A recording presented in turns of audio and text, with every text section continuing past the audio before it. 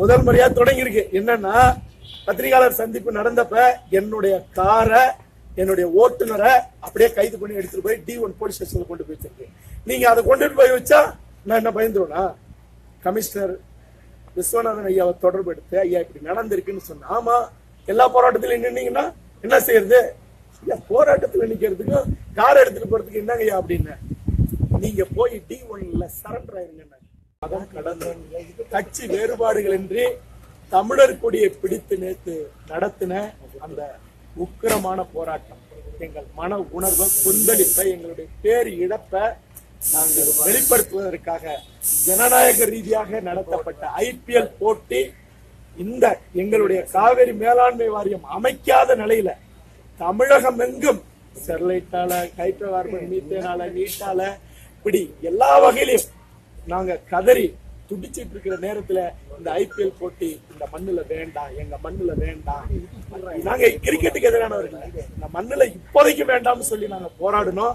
அந்த பெரும் போராட்டம் அறமான போராட்டம் இன்னைக்கு அதிகார வர்க்கங்களை உலுக்கி இன்னைக்கு அவர்கள் தங்களுடைய நிலையை மாத்திருக்காங்க தங்களை திருத்திக்கிட்டு. ஆக இத முன்னாடியே நேர்மையாக இதை செய்திருந்தா இவ்வளவு பெரிய போராட்டமும் அதுல எங்களுடைய எங்களுடைய இளைஞர்களை அடிச்சு சிதைச்சதோ தவிர்க்கப்பட்டிருக்கும். ஆக அவர்கள் அடிச்சதுனால சில பேர் எதிர்த்திருக்காங்க. அது இன்னைக்கு வேற மாதிரியாக திருத்தி போயிட்டு இருக்கு இப்பொழுது மிக மிக முக்கியமாக நாங்கள் சொல்லிக்கிற செய்தி ஒண்ணு என்னன்னா எங்களை போராடு முன் முன்னோடியாக நின்று அல்லது முன்னாடி நின்று போராடின முக்கியமான ஆளுமைகளை கைது செய்ய காவல்துறை ஒரு ஒரு படையோட புறப்பட்டுடுச்சு. ஆக இவர்கள் எந்த படை வேணாலும் வச்சு புறப்பட்டோம் இவர்கள் கைது செய்யிட்டு இவருக்கு என்ன வேணாலும் செய்யட்டும்.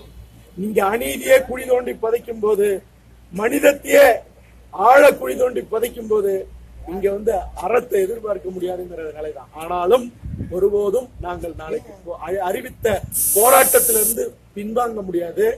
ஆக நாளைக்கு பிரதமர் அவர்கள் சென்னைக்கு அதாவது தமிழ்நாட்டுக்கு வரும்போது அந்த ராணுவ கண்காட்சிக்கு திறந்து வைக்கிறதுக்கு வரும்போது நாங்கள் கருப்பு கொடி காட்டுறதும் எங்களுடைய பலத்தை எதிர்ப்பை காட்டுறதுலயும் ஒருபோதும் நாங்கள் பின்வாங்க போறதில்லை. இரவுக்குள்ள நீங்க கைது பண்ணலாம். நீங்க என்ன வேணாலும் செய்யலாம். ஆனால் வீகமுள்ள விவேகமுள்ள எங்களுடைய தமிழம் நாங்க நினைச்சதை நடத்தியே தீருவோம் நீங்க ஜல்லிக்கட்டு போராட்டத்திலயும் எங்களுக்கு தீர்வு கிடைக்கும் போது தீர்வை கிடைச்சப்பயே அடிச்சீங்க. இப்ப வந்து ஐபிஎல் போட்டி எங்கள் போராட்டத்திற்கு வெற்றி கிடைச்ச நிலையில இன்னைக்கு எங்களை நீங்க சிதைக்கணும்னு நினைக்கிறீங்க. அல்லது எங்களை ஒடுக்கணும்னு நினைக்கிறீங்க? இல்ல எங்கள் தமிழினத்தை நீங்க பயமுறுத்தணும்னு நினைக்கிறீங்க? ஒருபோதும் ஐம்பதனாயிரம் ஆண்டுகள் வரலாறு கொண்ட இந்த இனம் இனி தன்னை தன்னுடைய உரிமைக்காக போராடி இந்த மண்ணுல விழுந்ததா இருக்குமே ஒழிய போராடாம பயந்து பணிஞ்சு அது குனிஞ்சு ஒடுங்கிரும்னு ஒரு கனவு கண்டா எவ்வளவு பெரிய அதிகார வர்க்கமாக இருந்தாலும் அவர்களுக்கு நாங்கள் பாடம் புகட்டுவோம். முதல் முறையா தொடங்கியிருக்கு. என்னன்னா பத்திரிகையாளர் சந்திப்பு நடந்தப்ப என்னுடைய காரை என்னுடைய ஓட்டுநரை அப்படியே கைது பண்ணி எடுத்துட்டு போய் டி ஒன் போலீஸ் ஸ்டேஷன்ல கொண்டு போய் வச்சிருக்கு நீங்க அதை கொண்டுட்டு போய் வச்சா நான் என்ன பயந்துருவேனா?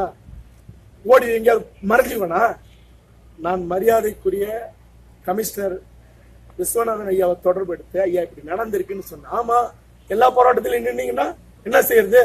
ஐயா போராட்டத்துல நிக்கிறதுக்கும் கார் எடுத்துட்டு போறதுக்கு என்னங்க ஐயா அப்படின்னு.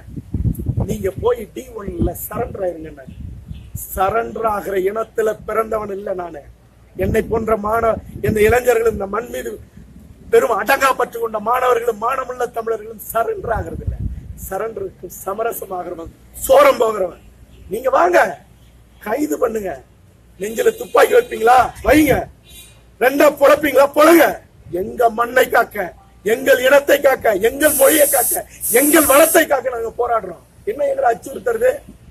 நாளைக்கு திட்டமிட்டபடி எங்க எழணுமோ முளைச்சு எழணுமோ தண்ணீர் போல காத்து போல விரைவி பரவணுமோ எங்கள் தமிழினம் எங்களை அழிக்க நினைக்கிற அதிகார வர்க்கத்துக்கு பாடம் புகட்ட நாங்கள் நிற்போம் போராடுவோம்.